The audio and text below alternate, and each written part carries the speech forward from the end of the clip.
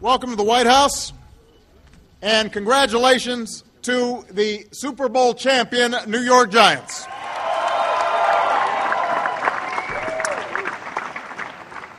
I want to also recognize uh, the Maras and the Tisches, uh, as well as, of course, head coach Tom Coughlin uh, and general manager Jerry Reese. Uh, they have built this team into one of the NFL's most outstanding franchises, so we are very proud of them.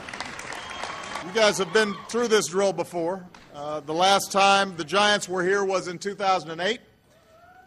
A lot of folks thought that team didn't have a chance to win a Super Bowl.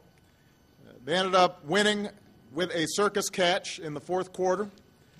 MVP performance by Eli Manning. A come from behind win over the Patriots. So this is all starting to sound kind of like deja vu all over again. But every season's different. And last year's Giants were obviously a special bunch, uh, not just because of where they ended up, but uh, because of how they got there.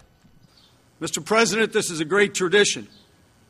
You carry out that the champions of the various sports are allowed to come to visit the President of the United States, which is the highest honor many of us will ever achieve, to visit the historic White House. And we hope that when you think of the 2011 and 12 New York football giants, a smile will come to your face. We hope you think about the fact that no one, I repeat, no one gave us a chance. And by virtue of working together, yeah, we did. Yeah, we did. And by virtue of working together and believing in each other and overcoming obstacles, it's an honor to stand before you today and present the Super Bowl 46 champions and the world champion New York Giants.